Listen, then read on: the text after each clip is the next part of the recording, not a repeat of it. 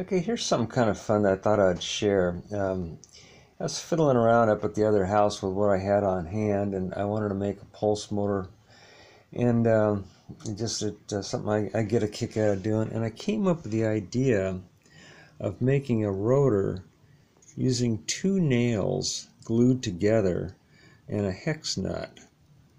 And uh, I'm calling this the two nail motor and you can freeze frame this and, and see what's going on here.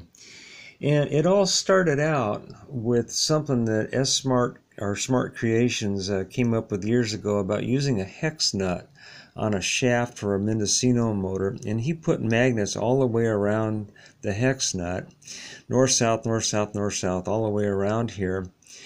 And uh, ran a Mendocino motor, and he had one that uh, he's been running for six years on um, a two transistor uh, push pull kind of circuit that I've been using also. But I started playing around with that idea first.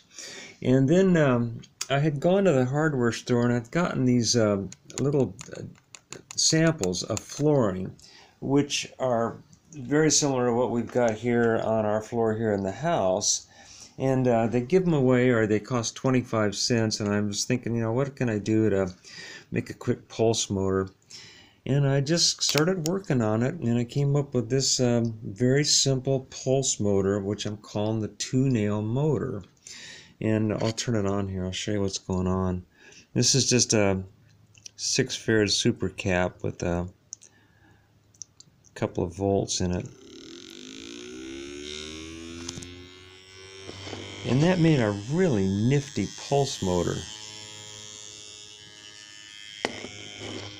using the nails. And what I did was um, I heated them up on the stove and then ground them. I have a bench grinder up there at the other house, and I ground them to a sharp point and made this pulse motor. And I added this little adjustment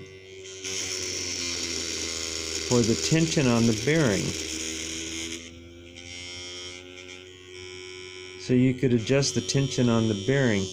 And the bearing is just uh, the nail running in a Phillips screw with really good oil. And you run it and run it and run it until it burnishes itself and creates this uh, this bearing surface in the uh, screw.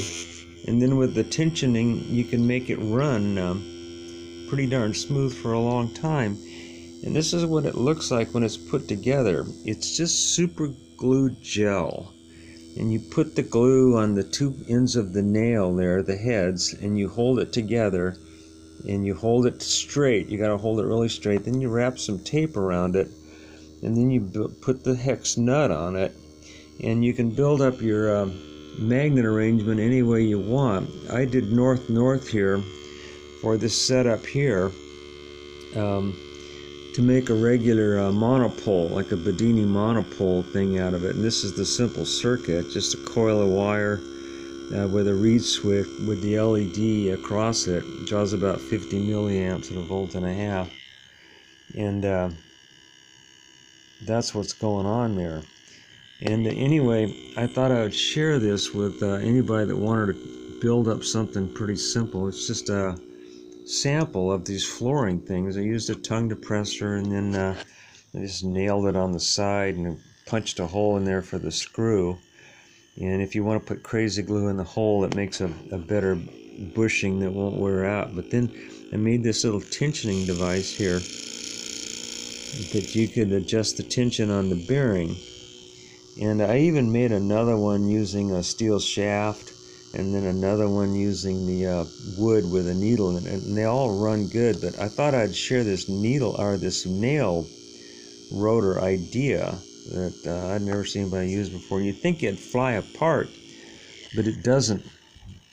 Hangs in there for some reason on this low uh, low RPM. This isn't running that fast, but um, it gets the job done and you can see this is winding down the energy is going out of this but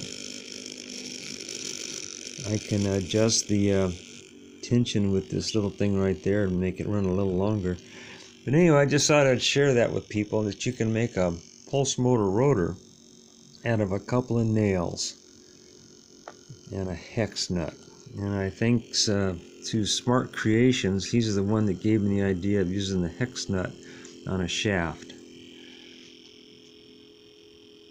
Thanks for watching.